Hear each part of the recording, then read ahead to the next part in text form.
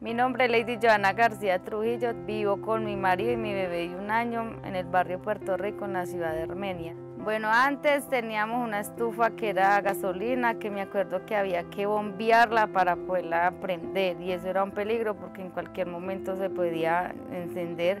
Después pasamos a la pipa de gas, que es como normalmente le decimos, en cualquier momento se podía acabar el gas tocaba salir a buscar el carro que pasara la avenida y siempre se demoraba una, dos horas en traer el, el cilindro de gas para no poder terminar de hacerle los alimentos, entonces tocaba esperar mucho.